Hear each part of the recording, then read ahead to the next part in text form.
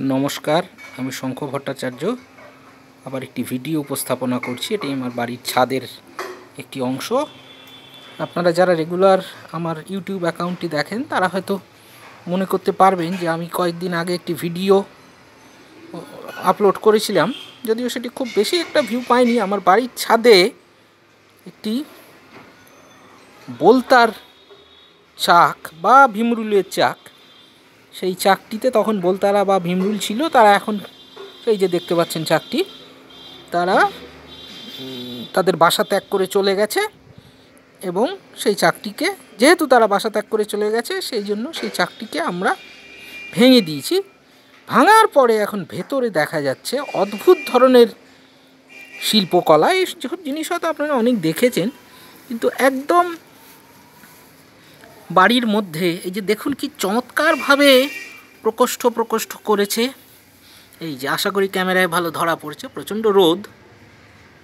এই দেখুন, ছোট ছোট ছোট ছোট ছোট ছোট হানি কুম্ভ টাইপের। এটা সম্ভবত বলতা অথবা ভীমরুল এরকম কিছু একটি ছিল। আমাদের বাড়ির বাগানে ফুল গাছ, টুল গাছ আছে, তারা মধুটেতু খেত। দেখুন কি চমৎকার একটি পতঙ্গ চাকের ভেতরের অংশ। তার কি চমৎকার শিল্পকলা আর্কিটেক্ট ইনসেক্ট বলা যায়।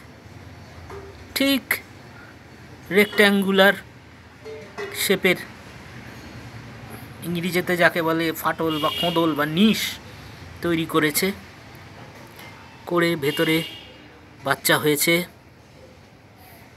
এটি আপনাদের ওই জন্যই আমি দেখাচ্ছি যে কত সাধারণ জিনিস কত অসাধারণ হয়ে উঠতে পারে। এটি তো বাইরে থেকে দেখা যায় না চাকটি ছিল, আপনারা ভিডিওটা দেখে নিতে পারেন, তার মধ্যে ভিমরুল বা পতঙ্গগুলি বেরোচ্ছে, ঢুকছে। দেখুন, কি চমৎকার রকমের আর্কিটেকচার ঠিক এক, এর মধ্যে ছোট ছোট ছোট ছোট ছোট ছোট প্রকোষ্ঠ করে তারা এখানে মধু রাখতো অথবা সন্তানের জন্ম দিয়েছে।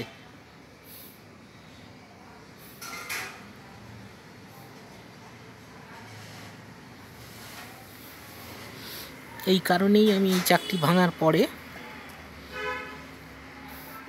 এই জন্য ছবিটি আপনাদের দেখাচ্ছি।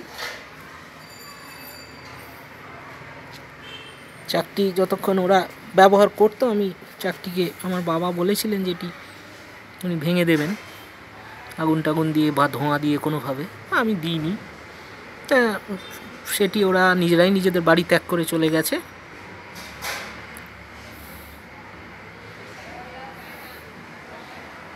এখন তো আর কোনো সমস্যা নেই।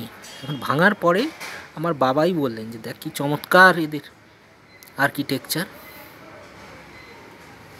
সেই জন্য আমি এই ভিডিওটি উপস্থাপনা করছি।